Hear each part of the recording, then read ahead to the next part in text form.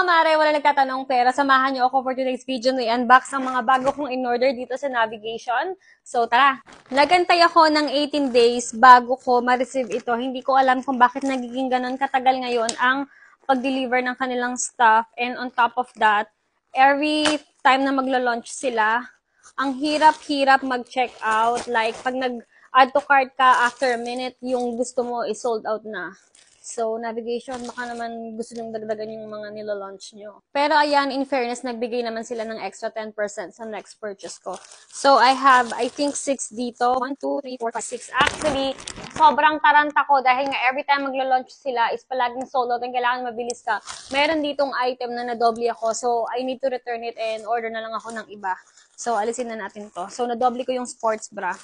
So, ayan. 5 pieces. So, ito nga pala yung una mga mare. Sorry, nawala kasi yung video. Nabura pala. So, ayan. Gusto ko yung mga paganyang-ganyang kinemerot bambam niya. Nahihilig ako sa ganyang style ngayon. And, nagandahan kasi ako sa back niya. Ayun, pack gunner niyan. And ito yung pangalawang sports bra. Actually, nagmamadali ako nung nag-order ako ng ganito.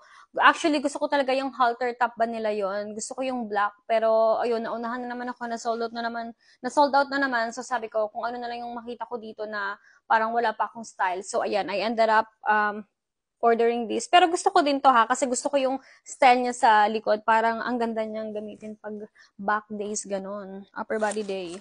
And this one, I already have the pink one of this one, and sobrang nagustuhan ko siya. So, umorder din ako ng red. And ito nga yung na-doble. So, i-return ko yung isa. Sobrang ganda nito. And gusto ko yung um, quality niya. And, so, I just realized, kulang pa pala to, kaya pala nakalagay is partially delivered. Wala pa yung short na color green na in-order ko. So, ito, wala din akong ganitong kulay, kaya umorder din ako nitong short nila. I really like their shorts. Like, na-obsess ako sa short nila. Kung pwede ko lang bilhin lahat, bebs. Sobrang ganda ng fittings ng short nila. And, ayan, kumuha din ako ng black. Uh, excited pa naman ako dun sa green kasi wala pa akong short na color green, I think. So, ayun. Wala pa. So, ngayon, one. So, I got two short. And, three sports bra. And ngayon, magpapalit ako. I think I'm gonna wear, I'm gonna wear the sports bra. Kasi naka-short naman ako ng navigation. I'm wearing the pink one. So, ayan. Papakita ko sa inyo yung fittings niya. So, ayan, mga mahali ko. I am wearing the purple one. And I think I really like it. I think it's cute. And so, ayun, ready na akong mag-workout. Bye!